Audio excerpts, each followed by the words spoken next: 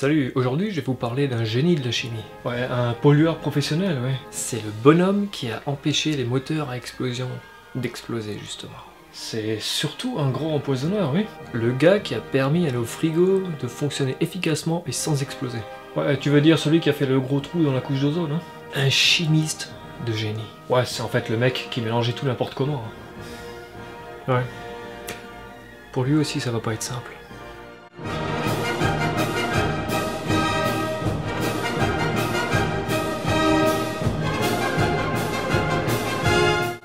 Thomas Midgley. Midgley? Midgley. Midgley. Thomas.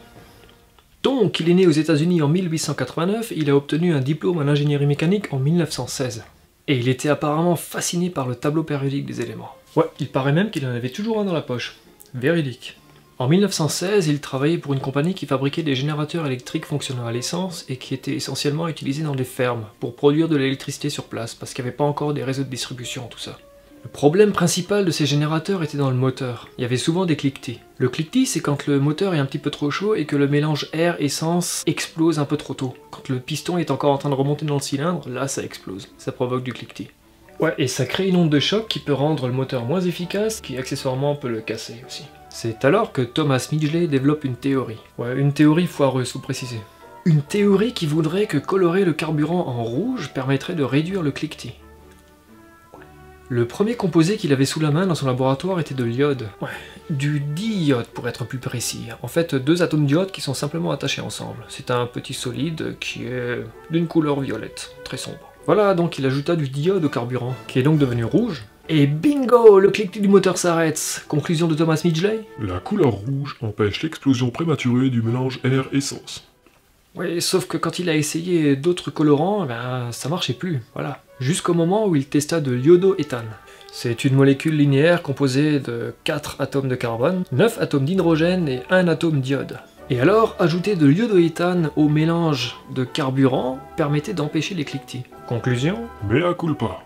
C'est l'atome d'iode qui semble empêcher les cliquetis. Et ceci fut un véritable électrochoc dans la carrière de Thomas Midgley. Il a alors dit quelque chose de... magnifique. Au cours de mes études, j'ai eu l'occasion d'étudier le tableau périodique des éléments, et je l'ai imprimé dans ma mémoire comme un outil très utile dans mon travail de recherche. Nous avons abandonné la méthode d'essai et l'erreur pour une procédure fondée sur le tableau périodique. Les prévisions commencèrent alors à couler de source plutôt que de finir en queue de poisson. Je rappelle que le mec est ingénieur en mécanique, c'est pas un chimiste. Il a appris la chimie sur le tas en mélangeant tout un tas de produits. Chapeau. Nous avons abandonné la méthode d'essai et l'erreur, abandonné la méthode, abandonné la méthode. Bon, ceci dit, ça l'a quand même pas empêché de continuer à mélanger tout un tas de produits. Et il s'est rendu compte que les propriétés antidétonantes des éléments étaient ordonnées ainsi. Plus je vais vers la droite du tableau, plus le pouvoir antidétonant augmente. Et plus je vais vers le bas du tableau, plus le pouvoir antidétonant augmente. Aussi. À l'époque des recherches de Thomas Midgley, le tableau périodique des éléments tel que l'on connaît aujourd'hui n'est pas encore tout à fait complet, il y a des trous, des éléments qui manquent. Et la zone qui intéresse Thomas Midgley est à peu près par ici. Le problème c'est que dans cette zone du tableau périodique, bah, les éléments sont des métaux. Et les métaux, c'est pas soluble dans l'essence. L'essence est un composé organique car elle est composée de carbone et d'hydrogène. Et en chimie, qui se ressemblent, s'assemblent. Et donc pour mélanger un métal à de l'essence, il faut donc associer du carbone à ce métal. On va donc synthétiser un composé organométallique. Organo pour carbone, métallique, bah métal.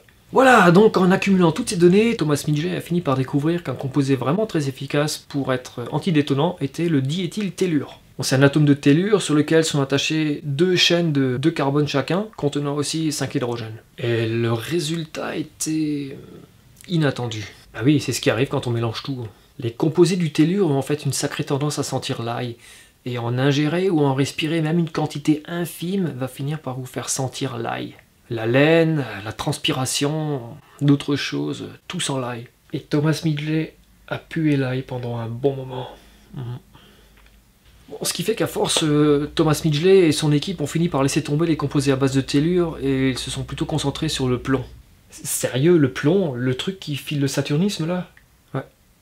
Il a choisi le tétraéthylplomb. Un plomb, 8 carbone, 20 hydrogène. Et ce tétraéthylplomb, bah faut reconnaître que c'était efficace quand même. Un antidétonant parfait, les cliquetis du moteur s'arrêtèrent immédiatement. C'était super efficace. Terminé, oui, mais il y a quelque chose d'autre qui vient juste de commencer. Tout le plomb qui est injecté dans le moteur finira quand même par ressortir par le pot d'échappement. et il sera relâché dans l'atmosphère. Au total, ce seront plusieurs centaines de milliers de tonnes de plomb qui seront relâchées dans l'atmosphère au fil des années.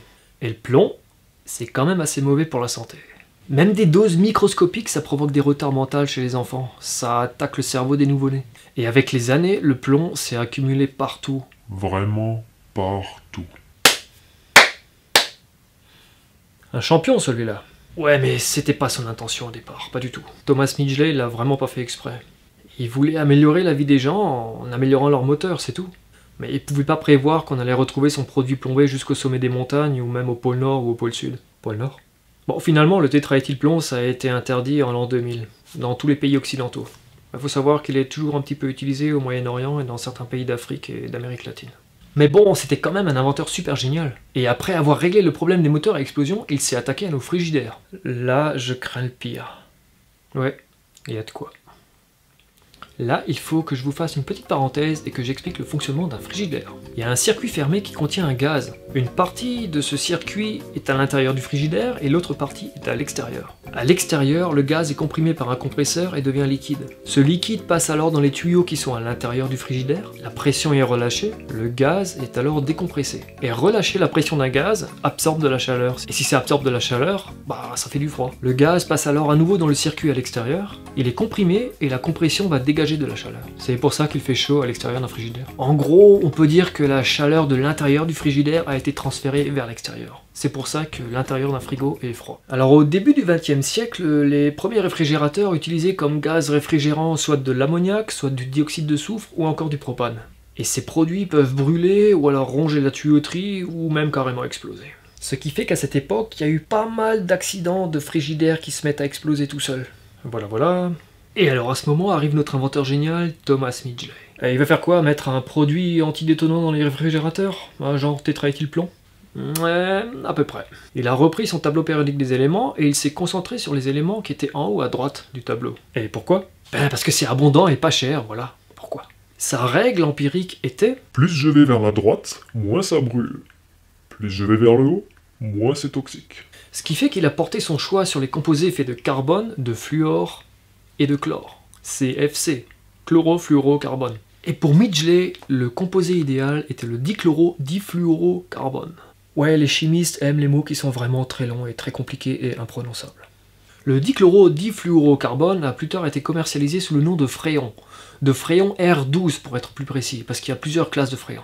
C'était le gaz idéal, point d'ébullition très bas, pas toxique, ça ne brûle pas, ça n'explose pas.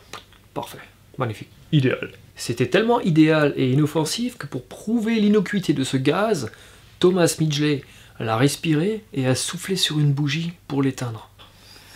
Alors l'invention de Midgley, ces frayons, ça a été un succès commercial phénoménal. Ça a été utilisé pendant plusieurs dizaines d'années sur tous les frigos à travers le monde entier. Voilà. Et ces gaz sont tellement inoffensifs pour le corps humain qu'ils sont encore utilisés aujourd'hui dans les bombes pour l'asthme.